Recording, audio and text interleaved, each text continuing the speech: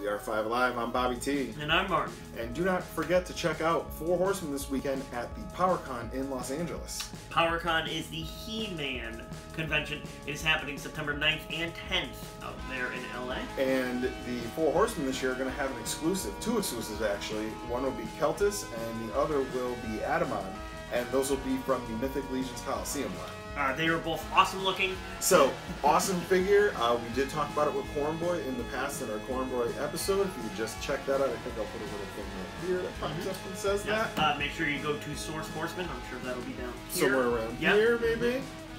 And uh, yeah, also check out Store Horsemen. And I would recommend it. Uh, the Mythic Legions uh, figures we've opened previously, they are phenomenal.